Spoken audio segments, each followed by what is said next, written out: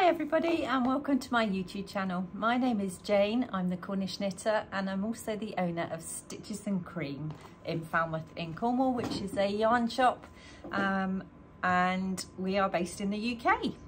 Uh, if this is your first time for visiting, welcome. Uh, it's lovely to see some new faces. Do like, do subscribe and please comment. And if you're returning, uh, thank you for watching, thank you for listening and it's great to see you again. Okay, so what I, what's this video about? Um, this time um, I'm going to be talking about sort of some of the things that I've been working on, traditional sort of knitting vlog, but uh, what I've been working on, uh, what I've finished, what my plans might be, some collaborations that we've been working on, but I'm also going to talk about the Shawl Knit Along, which launches 10th of September. Um, so um, hopefully uh, your kits will be winging their way out to you tomorrow. Uh, for those of you that are still waiting, so that you should have plenty of time to get them. Uh, we're waiting for them to arrive in. They should arrive any day. Um, so we will get them out to you as soon as possible. And I will give you a little bit more detail later on in the video. Normally I do a little bit of uh, a travelogue at the end. This time um, I've not put that in because I didn't want the video to be too long and the summer's been really busy. So um, normal service will resume for the next video.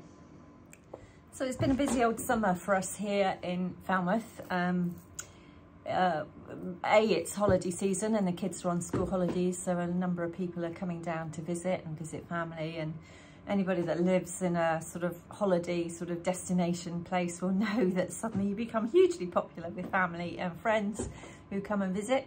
Uh, it's lovely to see everybody, but it doesn't leave you a lot of time for anything else, hence why I've not been on here um, for a little while.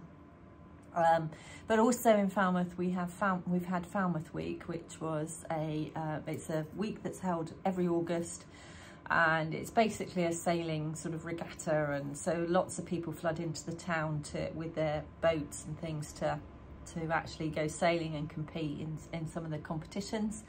And then the week after that was the tall ships event. So any of you that are not familiar with that, these are ships with massive rigging and um, the sails, are an amazing sight and usually manned by young people um, and they do a competition where they sail around parts of the world.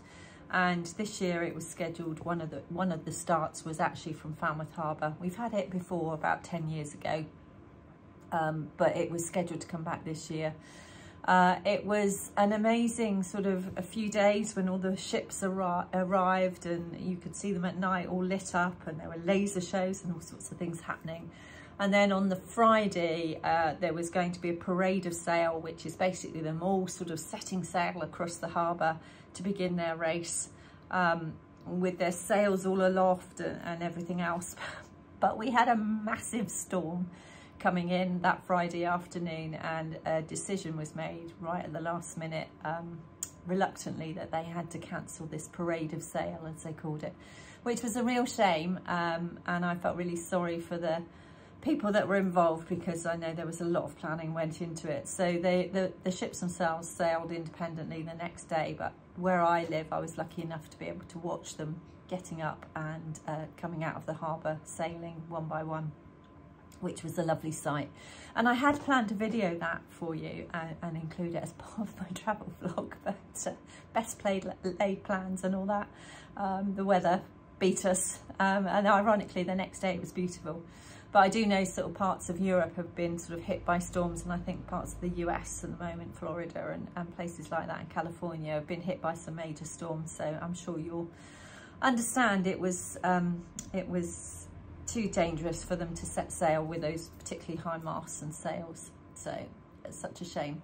Uh, my daughter came to visit me from Edinburgh, so I had a week of her company, which was lovely. It was lovely to have some one-to-one -one time with her and to see her and just catch up and not the way you can over sort of telephone or FaceTime. Um, it's just nice to be able to just do some stuff together. I do miss that. I do miss having my daughter and my son around to be able to just sort of say, oh, should we, should we just nip out and have a coffee or go out and have a bite to eat?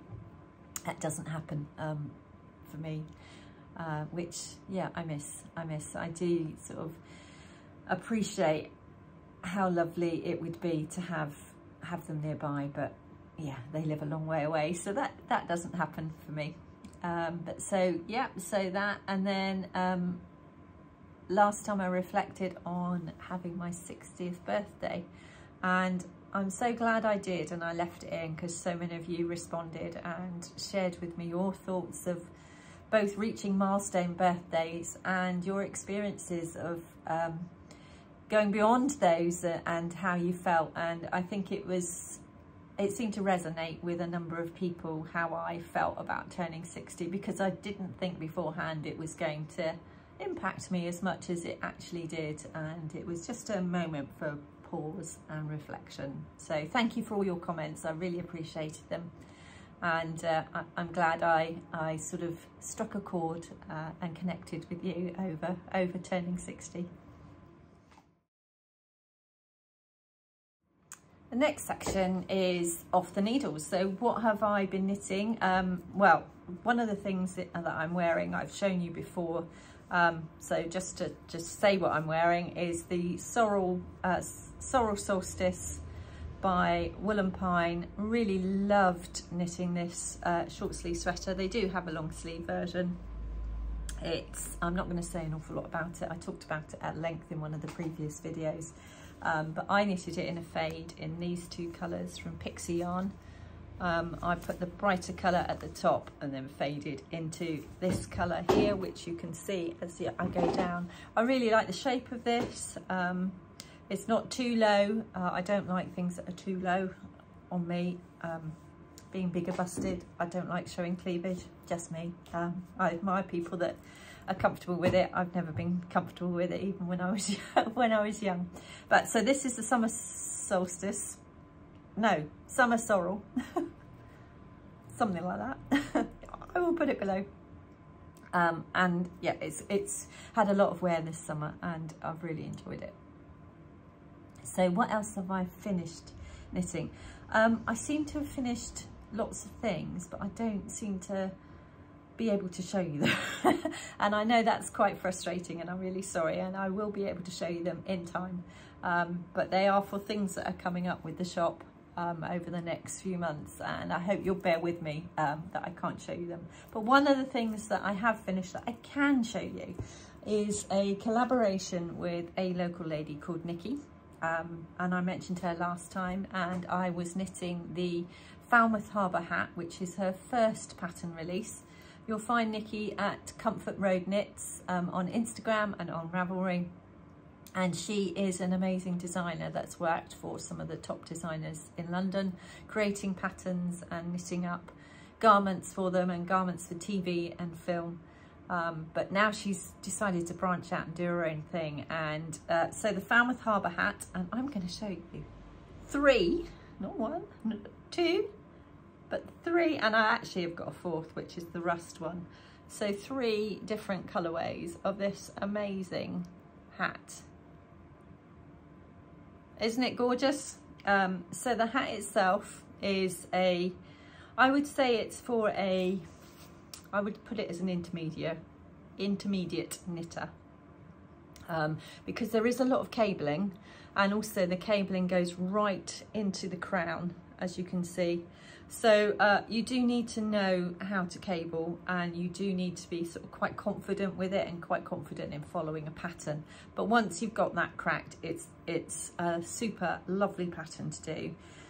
We've knitted it in several colours and I've got a blue one on my needles at the moment. It's knitted in um, Cumbria from the Fibre Company uh, worsted weight and that's what yarn Nikki designed it for.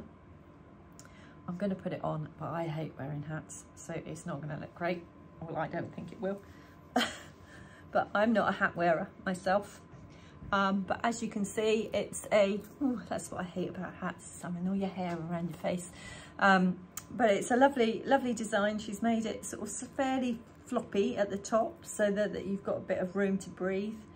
Uh, and we'll be having kits for it coming up for Christmas. Um, and in the next few weeks, we're going to get kits online.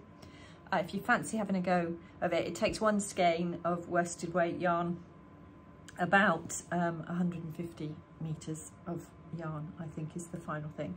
But the the other thing that she's been designing which hasn't been released yet but I'm allowed to show you is a mitten version.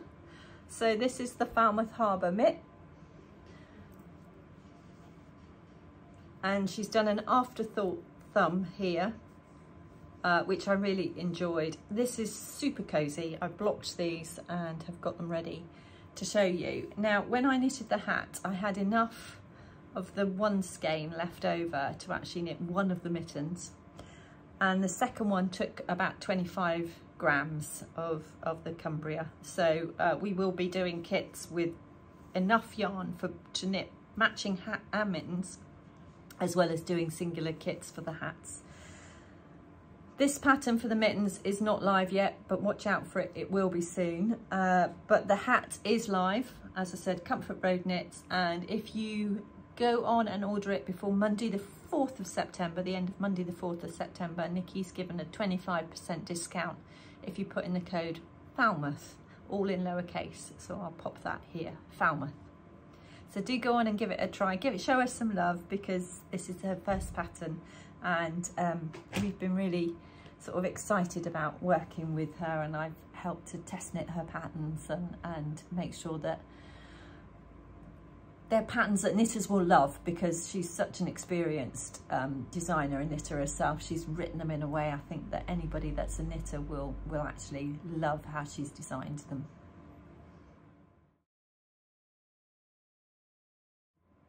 So that's all my finished objects or things that I've finished working on. One of the um, things that I've been working a lot on that I can show you is my field sweater. I know everybody's been tempted by this pattern. Um, I think it's still in the top five patterns on Ravelry.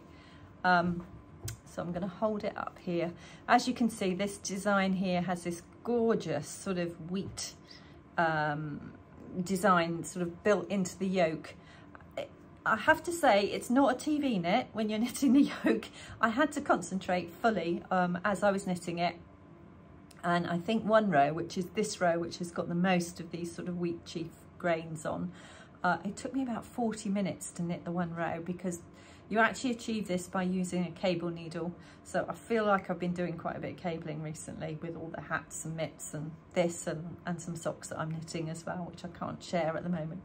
Uh, but oh my goodness, what a lovely pattern. So I have got to the point, I've cast off um, on the rib. I did an, uh, a sewn bind off because I do like the way the sewn bind off gives you that lovely stretchy but very professional looking edging.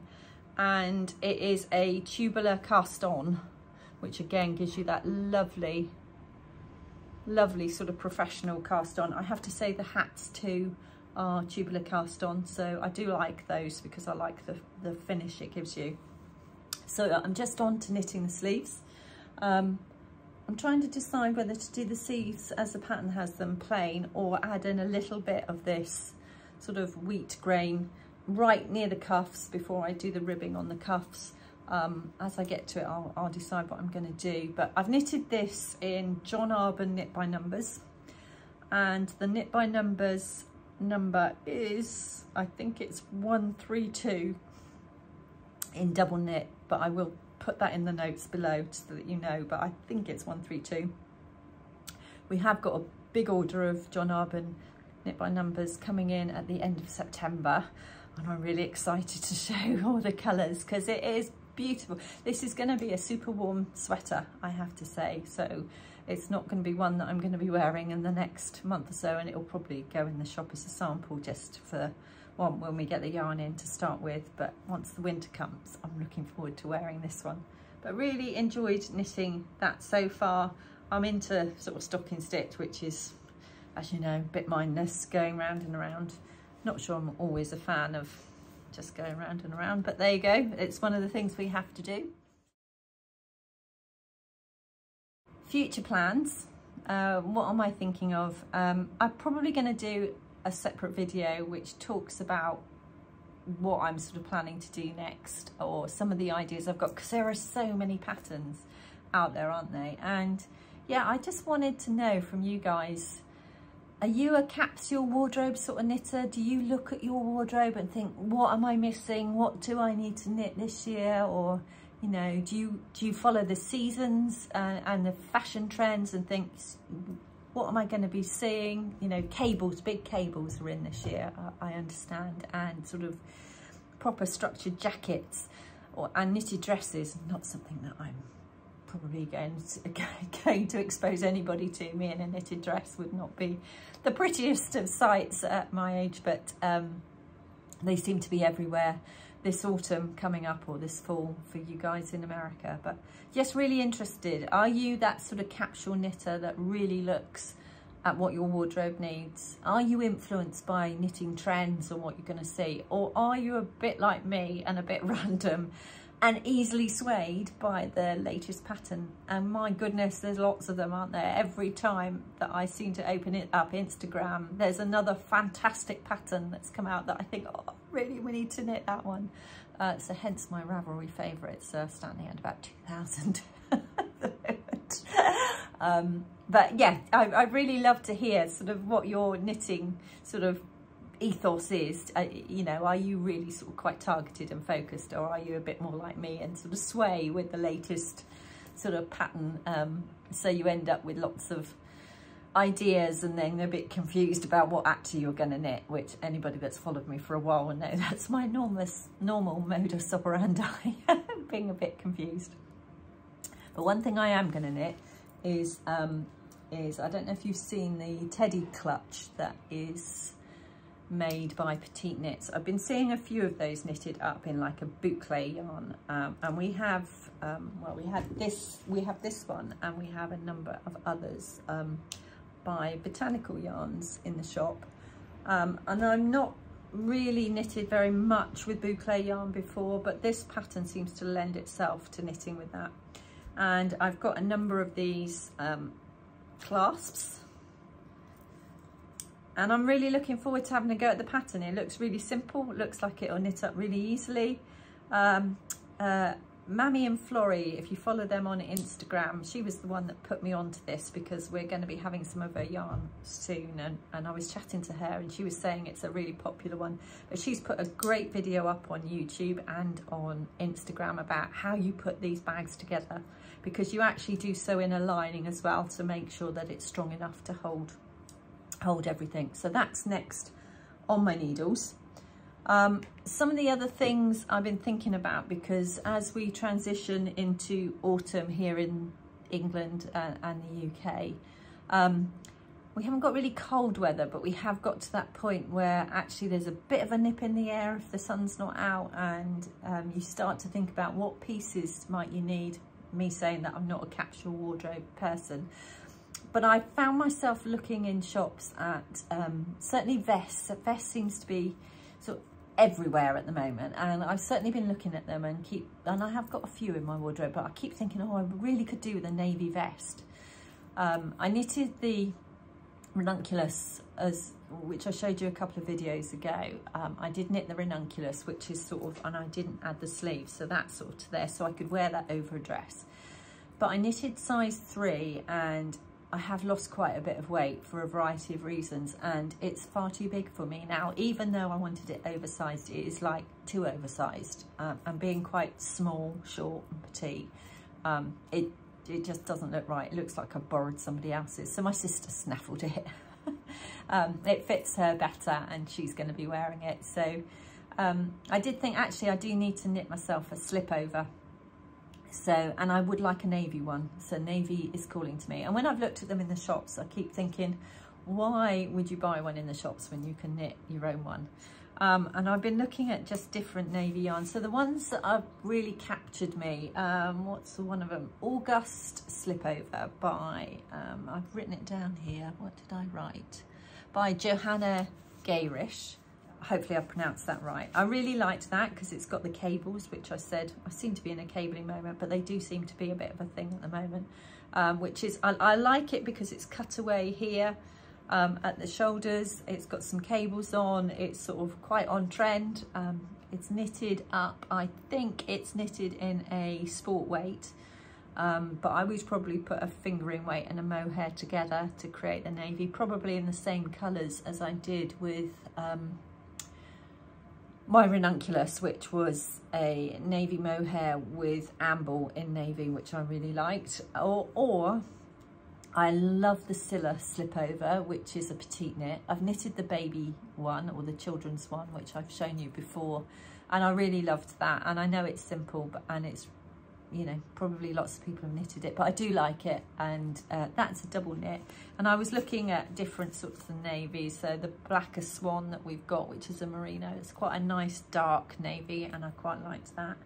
But I also liked this sort of blue from Croft, which I thought would go with jeans and things a little bit more. So slightly more denim oh, well, we've got loads, but also loved that one from Camarose, which is the Llama Tweed.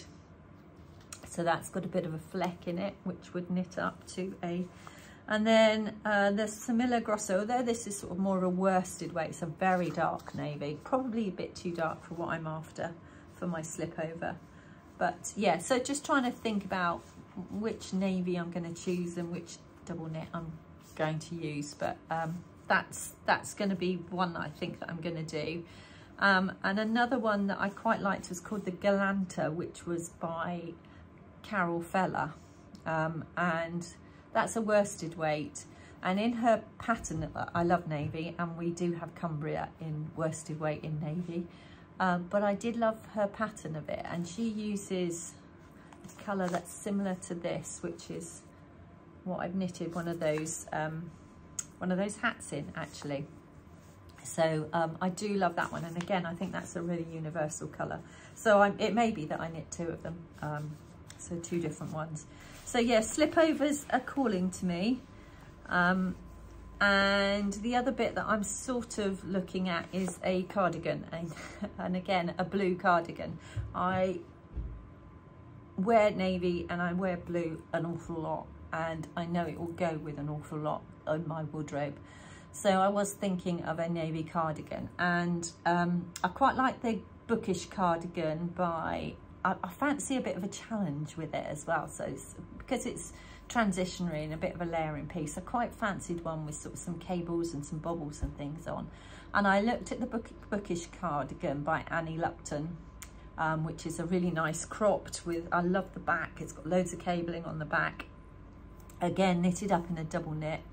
Or the Priscilla uh, cardigan, which is knitted in a fingering and mohair or a sport weight yarn. And I'm just checking my notes because the name is one that's not familiar to me. That's Marzena Kolaczek. Um, and again, forgive me if I've not got that right, but that one's appealing to me. Um, or I love the Horology cardigan by Kate Davies and I do like her patterns. Um, again, it's a double knit, it's got some cabling here, it's quite fitted, um, but I thought that would be quite nice over dresses. So I'm looking to do one in sort of a mid blue to a navy, one that I'm going to find really useful. I also, although it's not got any sort of complexity to it, but I like the construction and the look of it. I also like the Eva cardigan by um, Petite Knits. Um, and that's in a DK, but I like the simplicity of it. I do like a V-neck. Um, I like the fact that it's a bit of a sloppy joe that you could sort of throw on with a pair of jeans. Um, so that one's sort of on my radar, but maybe I'll do a bit more of a transitionary piece first. Um, and probably the other sweater that's really caught my eye at the moment, and again, one that I'm thinking could be quite a nice knit, and it's because the construction's a bit different and cables are having a moment, particularly big cables. I think you'll see them everywhere in the shops coming up soon. Um, is the Williams sweater, Williams sweater, um, again by uh, Johanna, it is Johanna Gehrisch. Um, and it's knitted with huge great cables across it but you knit it across the body. And it looks like you knit it flat which is quite unusual nowadays as you know. And then you join it together. But it's it's the construction I think that's partly appealing to me. Um, and that is in a um, I think that's in a worsted or Aran it might be in an Aran weight. That was like Aran weight. And I was thinking I quite liked it in the cream because she's actually got it in the cream And a cream jumper is quite useful, isn't it? But I do like that blue too. And I thought that was quite nice. And this is the And Make Aran by the Fibre Company and uh, Colours Skylar. And I'm just looking at the blend. So this is Peruvian Highland wool and alpaca. Um, cream is nice because it's quite universal, but blue again. Um, it's, the blue is calling to me a little bit. So uh, yeah, that's what I'm thinking. But I am going to unravel in a um, next weekend. So with my other company, the Raw Wool Company, um, with Anton, who owns the Raw Wool Company with me, we are we've got a stand at Unravel, which is a lovely yarn show um, in the southeast of England and there's one in the sort of February time and then there's one in the autumn. And I know that there's a lot a a lot of our suppliers who are going to be there so I get the chance to catch up pick up some stock and um, see what they've got that's new in. But also um, I am going to have a look out for anything that's sort of a sweater quantity of yarn. I'm, I'm not going to be drawn into buying individual skeins that just appeal to me because I did, I did, I was very good. I actually went through my yarn stash last night and had a real good sort out, sort of sorted through anything that I've got whips, anything that I've actually purchased for a project and put that in a separate sort of place and then looked at all my yarn stash and my goodness I have got so particularly fingering yarn of hand dyed skeins one-offs which are all beautiful but I've got enough. so actually, if I buy anything, I think I'm going to buy sweater's quantity of yarn to knit either a cardigan or a sweater to make sure I've got enough for that rather than one-off ones which I've got probably more than a lifetime of knitting already stashed away. And I think we're all probably like that. So I'm not going to get drawn. Um, when I see you next time uh, I'll be honest if I have been drawn by one then I'll, I will be honest but I will share with you what I what I buy uh, if I go, but I'm actually manning our store for the Raw Wool Company and we're about to release a few patterns that Anton's been designing um, next week. So uh, it's exciting times with that. So I'm sure I'll be talking to lots of customers about, about the Raw Wool Company and, and what we're doing there.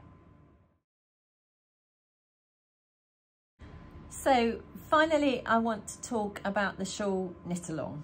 Um, so it is coming up really quickly and thank you for that so many of you purchased the kits that are going to go along with it and so many of you have contacted me to say that you want to join in and I'm really grateful um, that you are trusting me with my first ever knit along.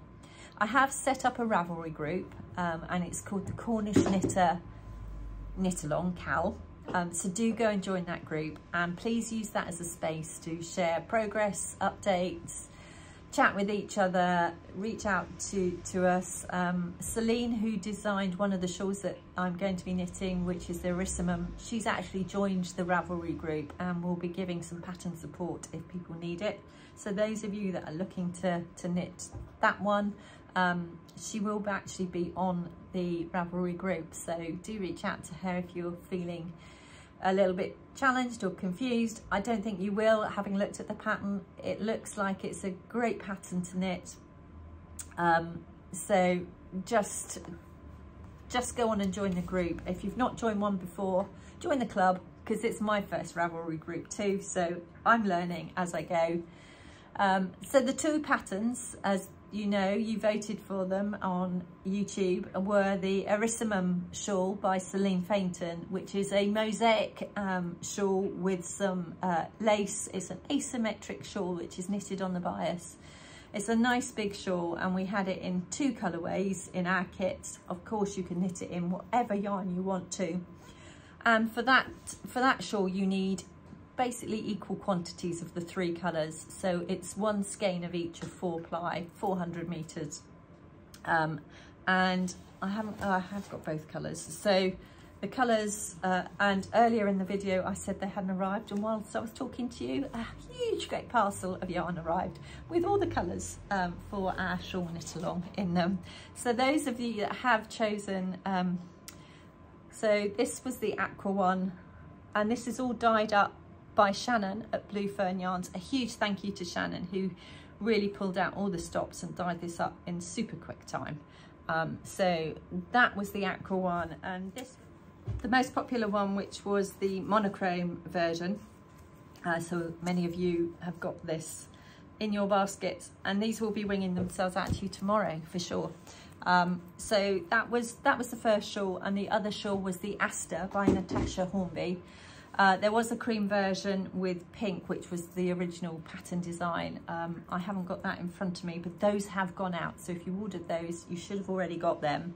Um, and the colorway, the other colorway that uh, we had for that, I'm just looking for it, was the blue one. And again, these are from Blue Fern Yarns um, in these three colors again a popular option. So they're all in now so we'll be sending those out tomorrow. Uh, for that one you needed 900 meters of the main color which on this one is the blue on the others the cream. And then about 100 meters of both of the contrast colors so in your pack you'll have um, enough yarn for your main color and also 250 grams which is more than enough for your contrast color uh, both patterns you need to buy yourself on Ravelry or from direct from the um, designer. So do go on and purchase your pattern in readiness to start. The knit along is going to run from the 10th of September when I've got a live Ravel uh, YouTube event happening at 7 p.m. British summertime. Uh, it's a Sunday evening. I know it's not going to be suitable for everybody, but don't worry, I will record it and pop it up on the YouTube channel once we finished it. Um, so on that one, we're just going to start knitting. We're going to start, I'm going to talk through the patterns in a little bit more detail. Um, it's going to be something that you can join in. You can ask me some any comments and we'll have a look at trying to, to make sure that I respond to any questions that you've got. I'm going to be knitting both shawls. Uh, always one for a challenge. So I'm going to be knitting both shawls um, along at the same time. So we'll be learning together and, and my idea of a knit along is it's a really sort of collaborative sharing learning space which is um, supports everybody whether you're fairly new to that sort of knitting or whether you're a really experienced knitter. I think it hopefully contains something for everybody.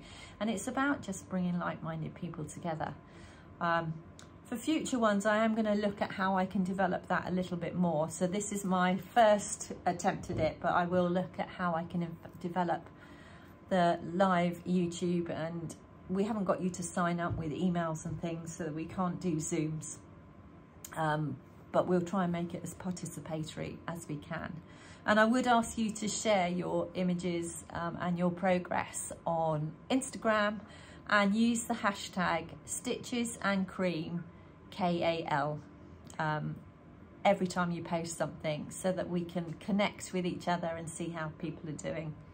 I will be uh, giving out random prizes throughout the knit along and they're not going to be for whoever's knitted it the fastest or whoever looks the best. It's going to be sort of randomly picked um, to make sure that people all have the opportunity to participate. So there will be some prizes given out along the way probably yarn related as you can imagine. You know we got plenty of yarn to choose from or maybe some knitting accessories but I will announce those.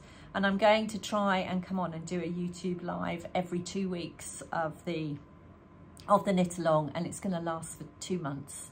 So we're going to take it into early December. You do not have to finish your shawl by the by the end of the knit along. For me it's much more about the taking part the learning the friendships that you build not about actually finishing the, the garment if if that's too fast a pace for you so please don't be put off by the time scales so I think that's everything I needed to tell you. Um, you do need to be on YouTube to catch the live events, so do like and subscribe, as I said.